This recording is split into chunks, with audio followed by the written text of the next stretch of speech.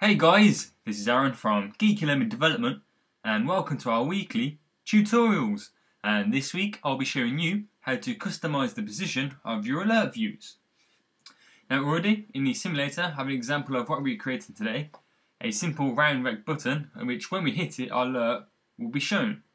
Now normally when you're showing alerts the alert appears dead center within the screen but customizing the position you can allow it to display the alert in certain positions so you can show other content around it. So if I just give you press the button now and just give you an example. So once I hit it, our alert is shown at the bottom, which gives enough room to show or display content that you don't want to be hidden when the alert is shown above the top, or you can position the alert at the top of the screen or to the right, to the left, any way you really want to. So I'll be showing you this today and already my project set up. It's a simple single view application for the iPhone and I've simply named it custom alert position for the purpose of this tutorial.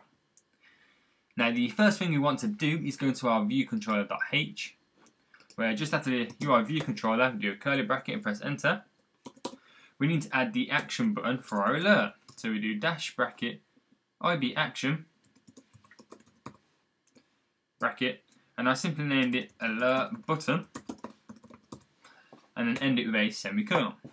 And then we can save that and go to our view controller.m where just after the implementation of the view controller we press enter a few times so we have a fair bit of room and you can clearly see what I'm typing out.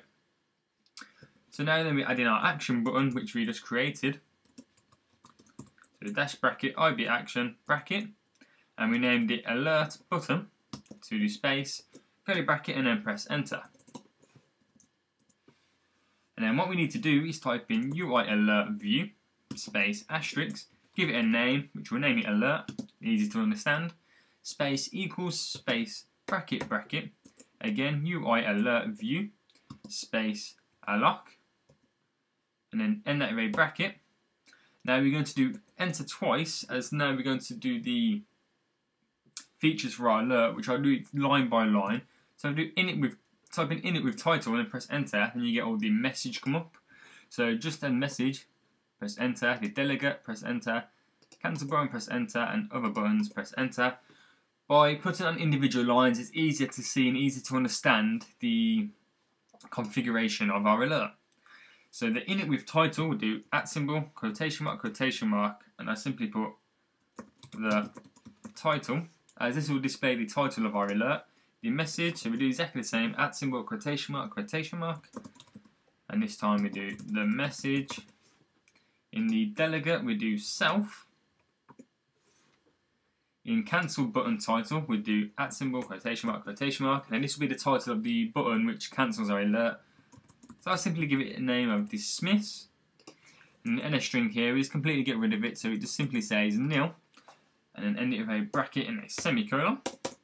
Now once you've done that, press enter twice, and now we need to do the position we want our alert to be displayed in.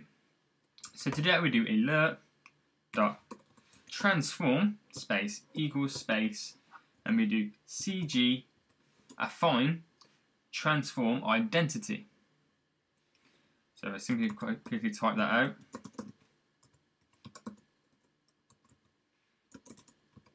Identity and now a semicolon and then press enter. And again we do alert dot transform space equals space. And this time it's cg affine transform translate. So we, again we type it out.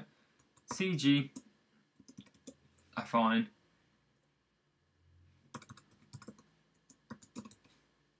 transform translate. Now in the first highlight section here, the CG affine transform to, we do the name of our alert, which we named it alert dot transform, and then the CG float TX, we simply put 0 dot 0, and this will center. Our alert to the center of the screen, but in the TY, this will position it height to be at the top or at the bottom. So if I did 0 dot 0, this will completely center our alert into the screen, but if I do the same position as it is on the Xcode simulator, we do dash or minus 100, this will position it lower to the screen. So if you just play around with these two settings here of the numbers, so just completely change it. Like I said before, the one on the left here will display left to right, and this one here will display if it's high or low. So after you've done that, make sure you got a semicolon on the end of the bracket.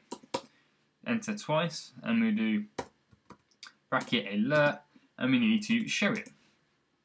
And have a bracket and a semicolon. So once you've done that, save that, go into our view viewcontroller.xib, and just the same as on the iPhone simulator, dragging your alert, your um, round back, round rect button, sorry, and simply name it show alert, and then click on File's Owner, and then link up our alert button, so you suggest anything, something simple like touchdown. Now as our alert is displaying at the bottom of the screen, I've simply placed our round rect button at the top, so it's nicely spaced out and you can see it when the alert has been shown. So once you've done that, we can go to build and run.